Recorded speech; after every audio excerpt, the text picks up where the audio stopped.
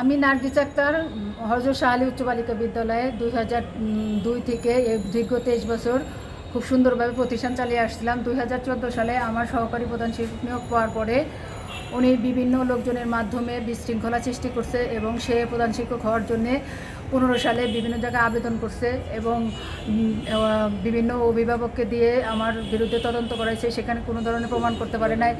দুই হাজার আঠারো সাল থেকে এটা প্রমাণ করতে পারে নাই। একুশ সালে প্রমাণ করতে পারে নাই। সম্প্রতি এই আওয়ামী লীগ সরকারের এমপি আসার পরে সেই এমপির বাসায় যে আমাকে জামাত নেত্রী বলে সে আবেদন করছে।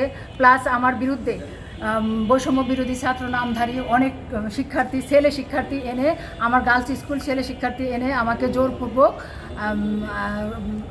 সাময়িকভাবে স্বাক্ষর নিয়েছে এবং জোর করে টিপসই নিয়েছে। এরা কারা? ওখানে আপনার কোনো আপনার তো এটা বালিকা স্কুল জি আমার গার্লস স্কুল এখানে কোনো শিক্ষার্থী ছিল না শিক্ষার্থীদের ছুটি হয়ে গেছে এমত অবস্থায় দুজন গার্জিয়ান এসে আমার গার্জিয়ান শিক্ষার্থীর হাত গায়ে হাত দিছে প্লাস আমার ইয়েদের গায়ে হাত দিছে।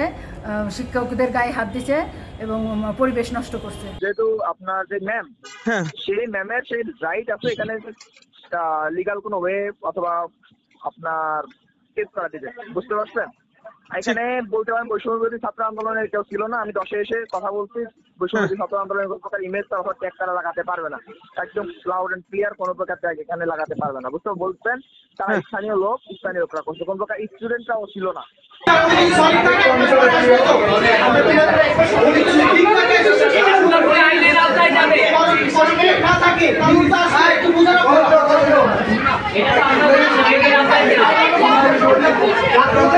এটা